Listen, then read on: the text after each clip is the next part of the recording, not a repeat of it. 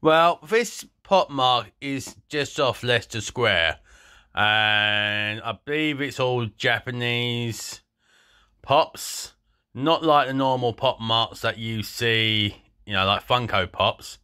So they are quite interesting, and it is just a short video, and so I thought I'll let you have a nose. Alright, now we're inside the store, as you can see. And now I'm going to shut up and let you get on with it. Bye.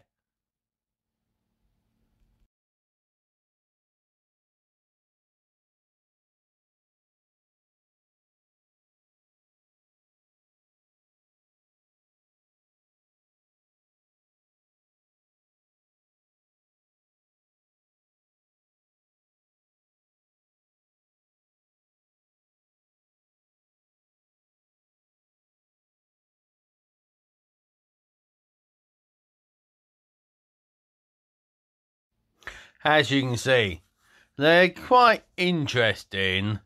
And you can see, small shop, and wow, they got lots in.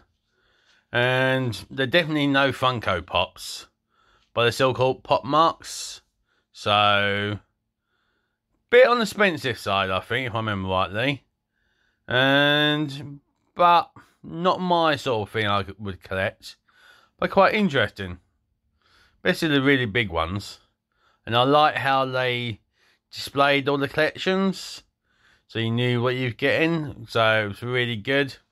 So it's just a one off. And I thought it was quite interesting little shop that I'll pop into.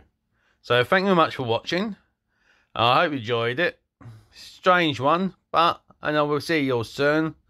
Give me a thumbs up, please share, please subscribe, and I will see you all soon. Bye for now.